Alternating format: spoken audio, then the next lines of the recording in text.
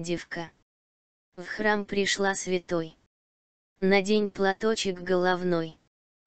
А я не простоволосая, но мне есть невидимый платок. Не все его видят, а видят только те, кому надо видеть. Видят ангелы и официальные сотрудники платочка юбочного дозора, которые имеют официальное разрешение делать в храме замечания.